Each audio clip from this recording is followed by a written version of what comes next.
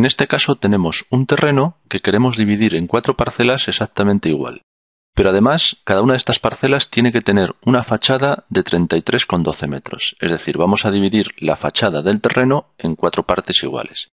Para ello utilizamos el comando top dividir, seleccionamos el contorno del terreno y ahora simplemente marcamos como primer punto la división, la media, en este caso de la fachada. Marcamos un segundo punto cualquiera, da igual dónde, y ahora el programa nos pregunta si queremos dejar fijo o mantener fijo el primer punto. Le decimos que sí, y automáticamente ya nos ha dividido el terreno en dos, pero manteniendo ese punto. Para hacer las otras divisiones haremos lo mismo. Marcamos en este caso este lado del terreno, marcamos como primer punto la mitad de la fachada y damos un punto cualquiera. Le decimos que sí, que mantenga fijo el primer punto.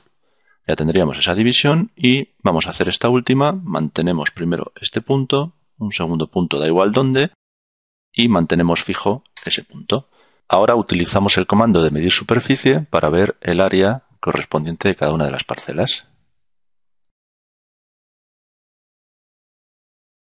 Como podemos ver, el área de todas las parcelas es igual. Además, hemos mantenido la fachada, en este caso, de 33,12 metros para cada una de las parcelas. De esta manera hemos resuelto esta situación.